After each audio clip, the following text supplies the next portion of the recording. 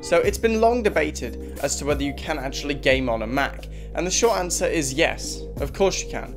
But I wanted to see just how far we could take this. Today we're going to be seeing just how many games you can actually play on a MacBook Pro.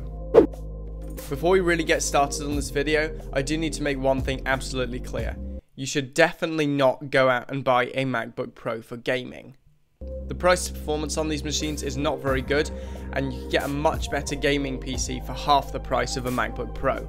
Nevertheless, I did want to see what type of performance we could get out of this machine that has such a bad reputation in the gaming community. So the MacBook I've got here is the 15 inch model. It's got a 2.8 GHz quad core i7, 16 GB of RAM, a 512 GB PCIe SSD, and a dedicated R9 M370X graphics card.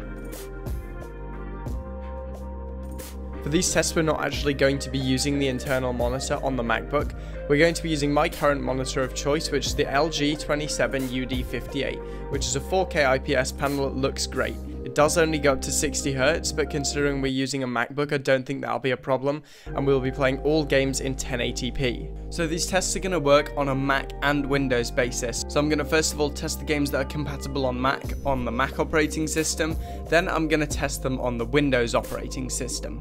On Borderlands 2 on OS X, I got an average FPS of 48.23, and on Borderlands 2 on Windows, I got an average FPS of 56.86, making this a clear win for Windows. Next I decided to test a fairly new game, which was Friday the 13th, and on this I got an average FPS of 30.1 frames per second.